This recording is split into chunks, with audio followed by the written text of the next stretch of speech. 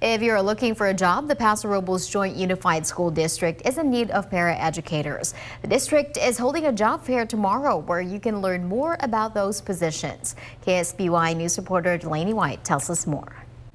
I spoke to the Paso Robles Joint Unified School District about why this position is important and who they're hoping will show up to the job fair on Thursday.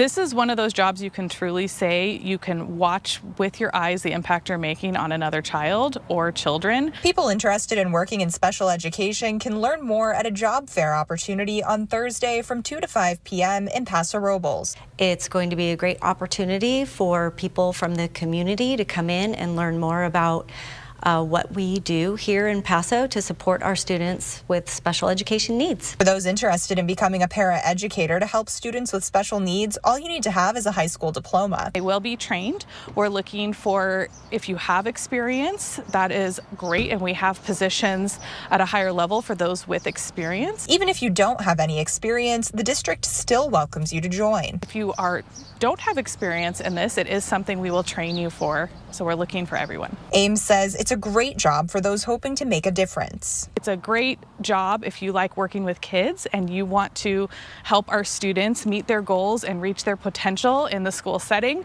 The pay for the paraeducator position ranges from 20 to $28 per hour, depending on education and certification. Reporting in the studio, Delaney White, KSBY News.